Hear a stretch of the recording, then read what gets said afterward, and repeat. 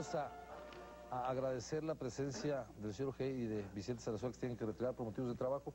Una pregunta, señor, señor G, antes de que se vaya Víctor Manuel Mendoza llamó y dice que cuál era el representante, la mascota de los Juegos Olímpicos de 68. En realidad, la cuestión de las mascotas surgió después. Después. No, no había la idea de las mascotas. El símbolo era la paloma, ¿verdad? La paloma, que fue un símbolo, una idea del arquitecto, representando la paloma de la paz y la universalidad de la paz, y lo blanco inclusive en ese sentido, que representaba la pureza de lo blanco, y además también eh, lo ha plasmado en, las dos cosas, tanto en el edificio del Comité Olímpico Internacional en, en como en el museo, todo es blanco, representando justamente esa pureza y mármol purísimo blanco tenido de, Grecia, que lo ofreció el gobierno de Grecia. El charrito barrigón no era... No, no, no, fue. no, hubo mascota de México. No había entonces en los Juegos. Ahora sí hay, este es, más feas. Este es el símbolo, la paloma que justamente lo hemos estado utilizando. pues muchísimas gracias por acompañarnos, se lo agradecemos mucho. ¿eh?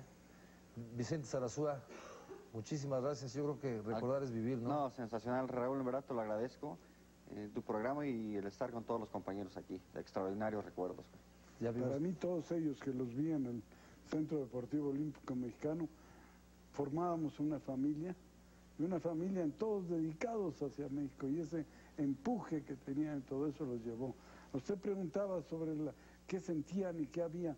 Justamente el deportista siempre trata el, este, obtener el triunfo, desde luego. Pero ¿cuál es la diferencia entre ese deportista el campeón, y el campeón?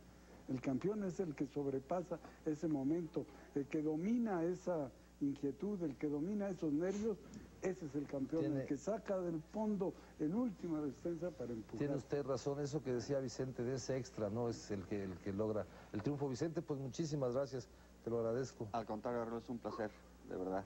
Y hablando de los juegos, vamos a ver esto que tenemos que se llama Así, así vivir los juegos. Al serle concedida la sede a México, surgieron muchos comentarios y muchas alarmas en el mundo de que cómo un país subdesarrollado iba a, a, realizar unos juegos tan complejos como los que había hecho Japón y la altura de la Ciudad de México que perjudicaría a los atletas, en fin fueron una gran serie de obstáculos que había que ir salvando a base de información para tranquilizar en el ambiente internacional, cosa que afortunadamente después en la realización de, los Juegos se comprobó que eran alarmas falsas, porque muy subdesarrollados, pero pudimos hacerla, no hubo un solo evento que se retrasara, todo con una absoluta precisión, se respetaron todos los requerimientos de todo el mundo y la gran respuesta de la Olimpiada de Japón se transmitió a color, pero por el horario no llegó en vivo. En cambio, la nuestra fue la primera que se transmitió a color y en vivo.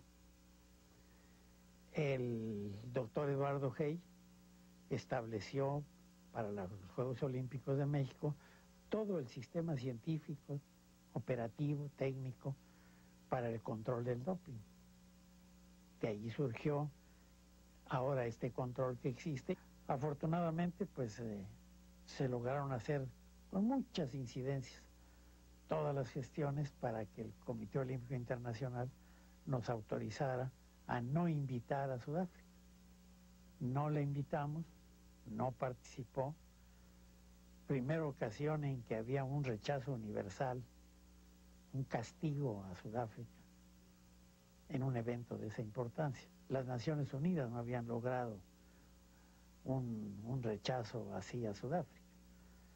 Lo logramos y entonces por la tradición eh, mexicana de antirracista promovimos la asistencia gratuita.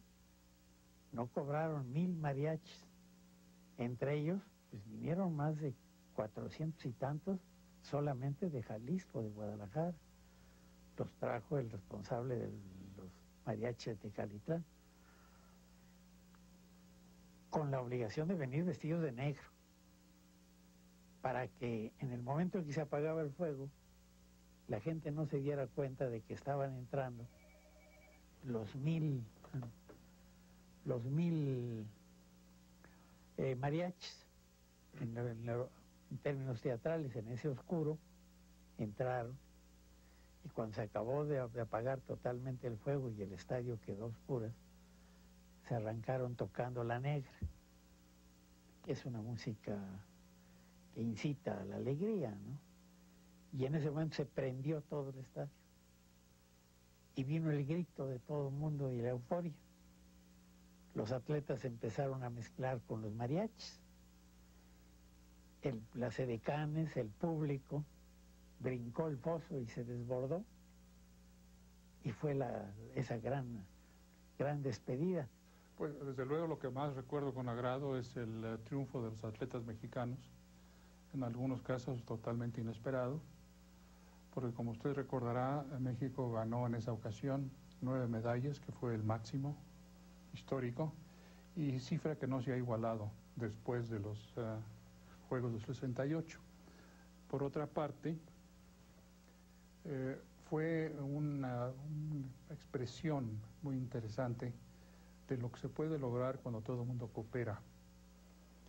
Eh, si se tuvo éxito en 68 en el número de medallas, las nueve medallas que todos sabemos, y los 22 finalistas que llegaron a distintas pruebas, sin haber obtenido medallas, pero que llegaron a finales, pues realmente eh, eso demuestra que todo el mundo colaboró que por primera vez en la historia del deporte mexicano no hubo envidias, no hubo desaciertos, sino que todo el mundo jaló parejo para que nuestro país quedara bien ante la,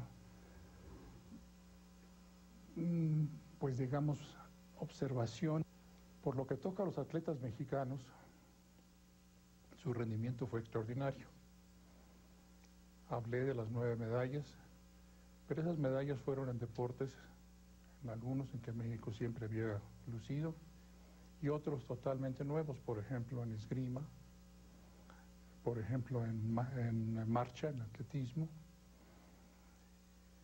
Y, esto nos, nos indica que cuando se hace un esfuerzo coordinado para entrenar y ayudar a los atletas a dar su máximo, se puede tener éxito.